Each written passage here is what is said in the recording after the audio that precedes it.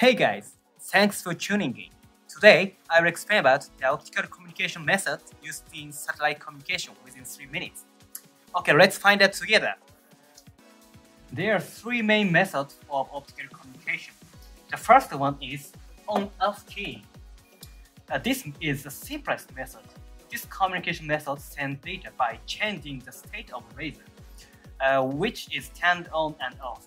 Okay, so this method is called on-off key. For example, when the laser is emitted, it means 1. And when the laser is not emitted, it means 0. Almost of all remote controls, such as TV remote controllers, transmit data in this method. This method is also used in the satellite communication method.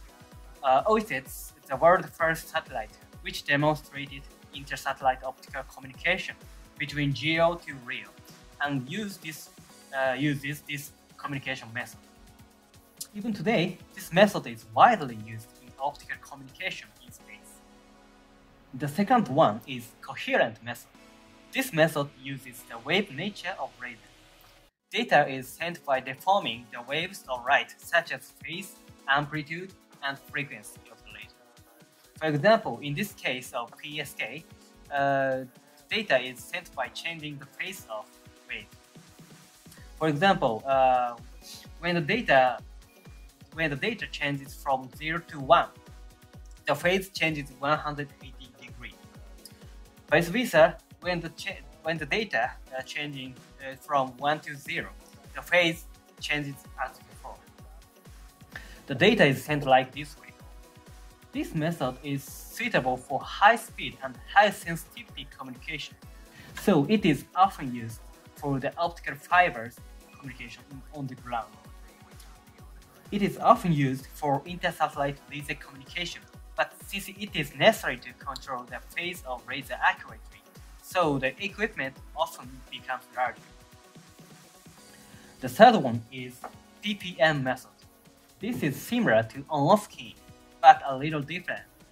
This method uses pulse laser and sends data by changing the timing of the pulse. For example, in this case of method called 2 ppm, uh, the timing of light uh, is two-way.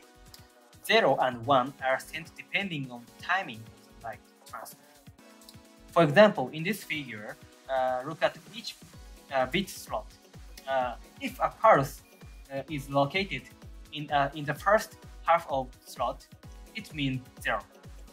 And if a pulse is located in the second half of the slot, it means 1. So, like this way, uh, PPM can transmit data. Okay, what good point of this method? Uh, this is uh, this method can transmit a stronger laser momentarily because the laser can transmit in a pulse shape. So uh, this this strong laser uh, this strong laser is important for long distance communication where light is emitted. OSAT also demonstrated the PPM method from LEO to GEO communication. And NASA is also planning to use this PPM method for Mars satellite because this satellite communicates with the Earth by the optical communication. Thank you for watching today. Uh, don't forget like this video and subscribe to my channel. Okay, see you later.